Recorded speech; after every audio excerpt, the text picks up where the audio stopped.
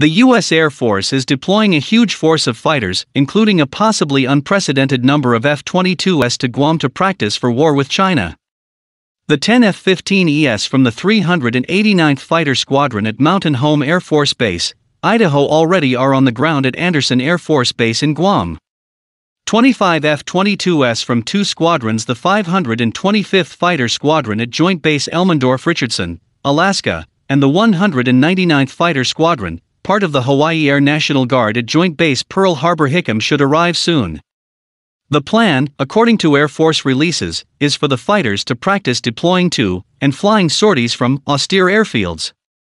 The flying branch in recent years has grown increasingly worried that, in the early hours of a regional war, the Chinese People's Liberation Army rocket force might fire scores of ballistic missiles at big U.S. bases, including Andersen.